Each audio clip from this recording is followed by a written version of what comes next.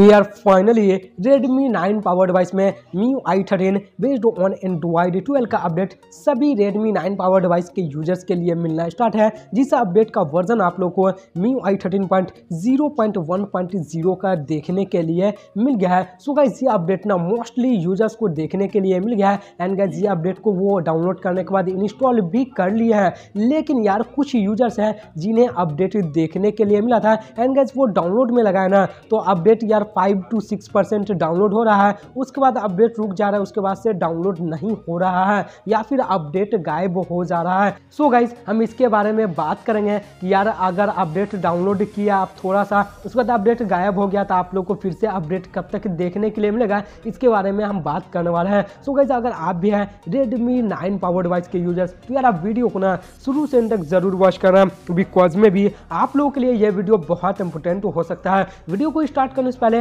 अगर आप चैनल को पहली बार विज़िट कर रहे हैं तो यार सब्सक्राइब करके बेल नोटिफिकेशन को ज़रूर प्रेस कर लेना। इसी के साथ में अगर आपने अभी तक टेलीग्राम ग्रुप को ज्वाइन नहीं किया है तो यार लिंक आप लोग को डिस्क्रिप्शन में देखने के लिए मिल जाएगा। हो सके तो टेलीग्राम ग्रुप को भी ज्वाइन कर लेना। सो गैस चलिए वीडियो को स्टार्ट करते हैं। तो यार रेडमी नाइन पावर डिवाइस में Mi I thirteen based on Android twelve का अपडेट सभी यूज़र्स के लिए मिलना स्टार्ट है। एंड बहुत सारे यूज़र्स हैं जो कि अपडेट को डाउनलोड करने के बाद इंस्टॉल कर लिए हैं। एंड यार वो मी आई थर्टीन के फीचर्स को एंजॉय भी कर रहे हैं। लेकिन यार कुछ यूज़र्स ऐसे हैं जिन्हें अपडेट तो देखने के लिए मिला, लेकिन वो अपडेट को डाउनलोड में भी लगाए। एंड गैस अपडेट वही फाइव टू सिक्स परसेंट के अप्रॉक्स में डाउनलोड हुआ तो उसके बाद अपडेट गायब हो गया। तो फिर से उन्हें अपडेट कब तक देखने के लिए मिलेगा? यार ऐसे ना मतलब कुछ यूज़र्स को देखने के लिए मिला है, जो कि नीचे कॉमेंट सेक्शन में बता रहे थे। तो देखो यार आप लोग को हम बता चुके हैं कि अपडेट जो है जब सभी यूज़र्स के लिए भी मिलना स्टार्ट होता है तो अपडेट उसमें से भी कई सारे बैचेस में देखने के लिए मिलता है and update approx one hour के लिए ही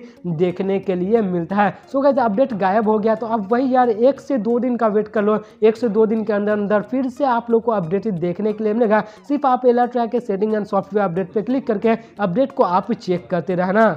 एंड गाइज़ अपडेट जो आप लोग को देखने के लिए मिलेगा ना तो वो अपडेट को आप लोग को कंटिन्यू में डाउनलोड करने के बाद इंस्टॉल करना है। कभी कभी क्या होता है ना कि यूज़र्स क्या करते हैं कि अपडेट का फ़ाइल से थोड़ा सा लंबा देखने के लिए मिल जाता है तो वो अपडेट को जो डाउनलोड में लगाते हैं ना तो यार बीच में कहीं पर अपडेट को पॉज कर देते हैं। उसी क्रम में कुछ बग एंड इशू क्रिएट हो जाता है, जो कि अपडेट को इंस्टॉल करने के बाद उनके डिवाइस में कुछ बग एंड इशू फेस करना पड़ता है। सो अगर वो अपडेट को कंटिन्यू में डाउनलोड करने के बाद इंस्टॉल करेंगे तो यार उनके डिवाइस में कोई भी मेजर बग एंड इशू देखने के लिए नहीं मिलेगा। सो so गाइज़ आप एक से दो दिन का वेट कर लो। एक से दो दिन के अंदर अंदर फिर से आप लोग को अपडेट देखने के लिए मिलेगा। वैसे यार रेडमी नाइन पावर डिवाइस में फ्यूचर में जब भी कोई न्यू सॉफ्टवेयर अपडेट मिलना स्टार्ट होगा तो यार आप लोग को इन्फॉर्म कर देंगे इसी चैनल पर न्यू वीडियो के ज़रिए।